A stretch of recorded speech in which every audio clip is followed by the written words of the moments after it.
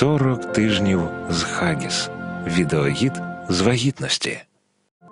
Тиждень 32.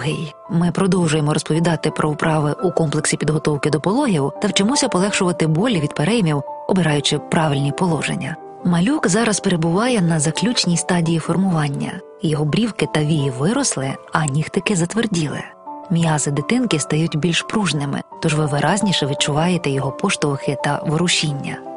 На цій стадії необхідно відвідувати лікаря що два тижні. Незабаром ви почнете відчувати сильніші скорочення матки. Це означає, що ваше тіло почало готуватися до пологів. На цьому етапі курсу підготовки ми зосередимося на положеннях, які можуть полегшити болі від переймів.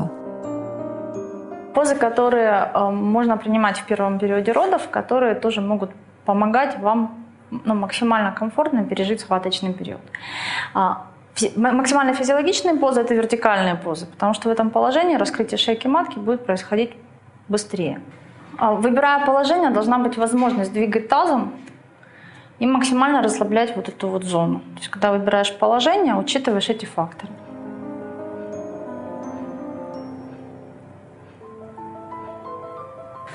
То есть, если руки устают, можешь делать еще вот так. да? Це можуть бути положення сидячи на стільці, причому важливо, щоб проміжність не фіксувалася і ви могли вільно рухатися, або на м'ячику. Також полегшити біль від переймів вам можуть допомогти положення навколішки або спираючись на м'ячик, ліжко чи партнера. Когда начинается потужной период и возникает желание тужиться, нужно обязательно позвать врача, он должен посмотреть степень раскрытия и дать добро на то, что да, действительно можно тужиться. А, Если врач смотрит и говорит, что вот такая вот ситуация, что нужно потуги перетерпеть, тужиться не нужно, вам здесь на помощь придет дыхание а, для того, чтобы эти потуги, которые уже есть, переждать, перетерпеть. А тут мы используем поверхностные техники дыхания. Самый такой распространенный вариант называется дыхание собачкой. Ваша задача дышать вот здесь, вот поверхностно, не делать глубоких вдохов, потому что глубокий вдох будет провоцировать потугу. Ну, выглядит это так.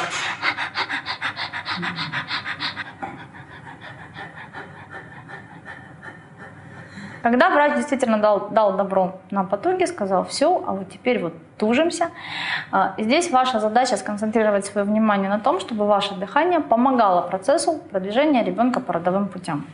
Как вы это можете сделать? Вы вдыхаете глубоко-глубоко, насколько это получается. Вдыхаете максимум воздуха, задерживаете дыхание на 5 секунд, концентрируете свое внимание на вот этом вот потоке. На задержке дыхания начинаете как бы прессом тужиться, выталкивать ребенка, и на вот в этом процессе вы спокойненько начинаете выдыхать, медленно и постепенно. Ну, Выглядит это будет так.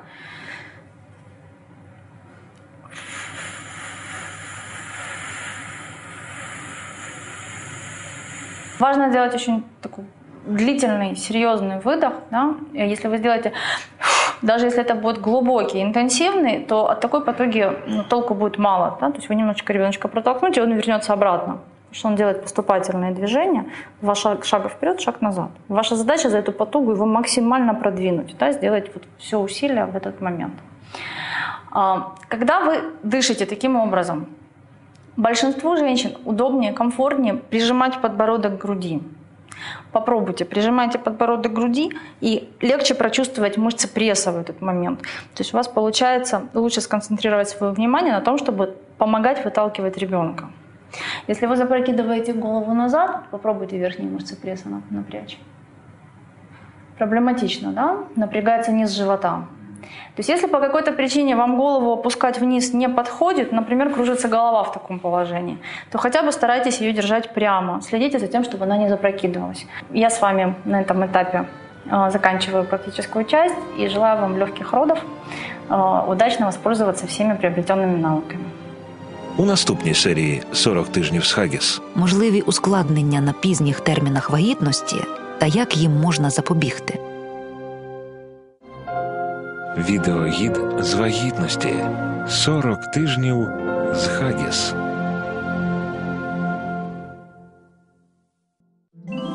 Шкіра новонародженого малюка найніжніша в світі. І щоб вона залишалась здоровою, а ваш малюк зростав щасливим, Хагіс створив м'який, наче пухова хмаринка, внутрішній шар підгузника Soft Touch – дотик ніжності. Хагіс м'який, наче пухова хмаринка.